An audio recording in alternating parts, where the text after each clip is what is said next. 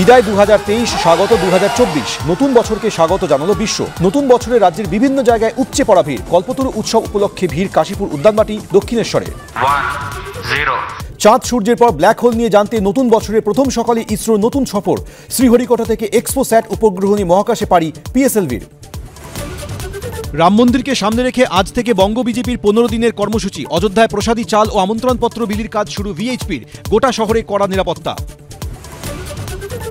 আজ পয়লা জানুয়ারি তৃণমূল কংগ্রেসের প্রতিষ্ঠা দিবস। দলীয় দপ্তরে জড়ো নেতারা সোশ্যাল মিডিয়ায় বার্তা মমতা বন্দ্যোপাধ্যায়ের, একসঙ্গে লড়ার বার্তা অভিষেক বন্দ্যোপাধ্যায়ের। এবার পয়লা বৈশাখকে বাংলা দিবস হিসেবে ঘোষণা রাজ্যের বাংলার মাটি, বাংলার জল গানকে অবিকল রেখে রাজ্যের জাতীয় সংগীত হিসেবে ঘোষণা।